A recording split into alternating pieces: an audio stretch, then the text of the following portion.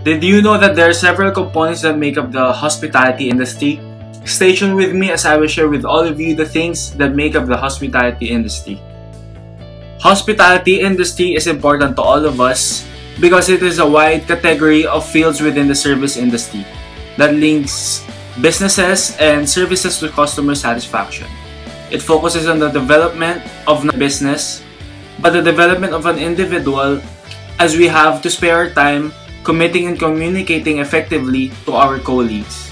I am credible to talk about the several components of the hospitality industry because I am majoring in hospitality management and I have researched about this topic. Hospitality industry is essential to sustain the needs of consumers by providing better quality of services and to create more tourism demand by maintaining the liability of locals in the Philippines as tourist spots. In this presentation, I will be discussing the segments of the hospitality industry, the main types of restaurants, and the different types of food services. First, I will discuss the segments of the hospitality industry. According to Peter Novak, a marketing specialist, in an article published on April 24, 2017, for hospitalitynet.org, an online resource for hospitality and hotel news. The hospitality industry is a multi-billion dollar industry that depends on the av- availability of leisure time, disposable income, and complete customer satisfaction. Hospitality industry has four segments, which are food and beverages, travel and tourism, lodging, and recreation. First, Food and be beverages is the largest segment of hospitality industry. It includes food facilities that prepare raw materials, served foods, and beverages in such places like cafes, restaurants, catering businesses, food manufacturing operations, and many more. Second, travel and tourism is a segment that, that concerns for people who travel from one place to another. It provides transportation services as well as vacation spots for travelers. Third, lodging is also a term for accommodation which is designed for people who stay away from home and need shelter for a night or more. Lodging businesses include places like hotels, motels, campgrounds, and more. Last is recreation is activity of leisure that is done for enjoyment, rest, and relaxation. Businesses that provide Entertainment that is, that is essential to refresh a person's body and mind include places like museums, parks, zoos, movie theaters, and many more. Now that you have, you know the segments of the hospitality industry, I will discuss the main types of restaurants. Restaurant is one of the hospitality units that consists facility, maintenance, and direct operations.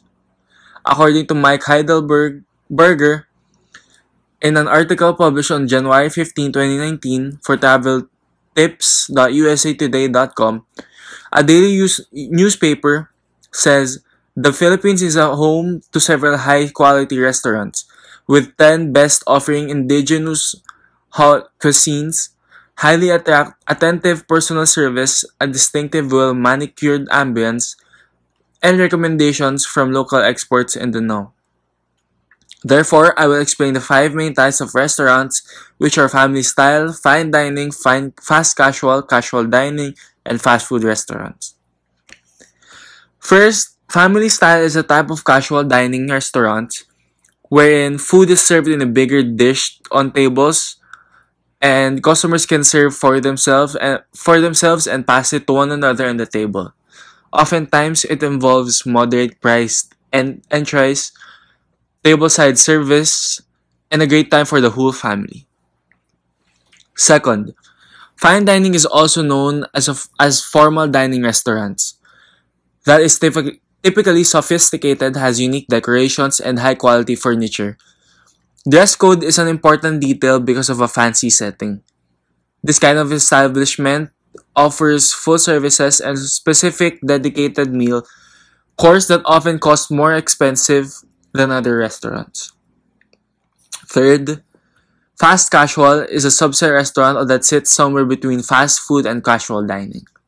Its concept does not offer a full table service but offer a better quality of food than fast food restaurants and a more inviting sit-down experience. Fourth, casual dining comprises a segment between fast casual and fine dining restaurant. They usually serve a larger portion size and often, ha- often have a bar. It offers a full service with a comf- with a comfortable atmosphere and affordable priced menu. Last is fast food restaurants is the most familiar to most people. It is a quick service restaurant restaurant that serves pre-cooked foods and has minimal table service. It has simple furniture such as basic chairs and tables that is deliberately made to be uncomfortable so customer will spend less time in the restaurant. Now that you know the main types of restaurants, I will be discussing the different types of food service. Food service is one of the most important elements in the hospitality industry because it contributes a great deal to the business profits. According to Magtibay de Luna et al., a bachelor's degree of science in business administration in the article published in Research Academy of Social Sciences in 2014 service says service quality is valuable to achieve competitive advantage in the service-oriented world by distinguishing itself from the competitors. In fact, service quality is a notable input to customer satisfaction can be considered a driver of customer lifetime value. There are five types of food service waiter service, Chinese banquet service, buffet service, self service, and semi service. First is waiter service, is also known as sit down service where waiters take the full responsibility to take and serve food to the customers. Next, Chinese banquet service is a form of waiter service wherein the waiter takes care of a group of 10 to 12 people. The food are usually pre-ordered and served communal. Third, buffet service is a type of restaurant wherein customers take the full responsibility of serving their own food by choosing from a large scale of selection available. Oftentimes, servers behind the food selection and waiter serve the special request of the customer. Fourth would be self-service. It is a pay and pick-up process, usually a type of service in fast food establishments where the waiters stay behind every counter to take orders. Lastly, self-service, semi-self-service is also a pay and pick-up process, but customer has to wait up until the or- their order is ready. Finally, now that you know the types of food service, let's wrap up.